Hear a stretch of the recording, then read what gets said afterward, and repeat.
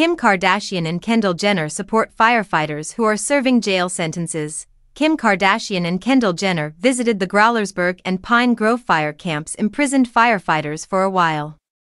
When the sisters met the incredible inmates of firefighter camp, Olivia Pierson and Kourtney Kardashian's ex-husband Scott Disick also joined them, taking to Instagram. The SKIMS founder shared a series of pictures of her visit featuring her and her crew all dressed up in black. She captioned the post, Yesterday I had the amazing opportunity to spend some time with the guys at Pine Grove Youth Fire Camp and Growlersburg Fire Camp Crew 3 and 5.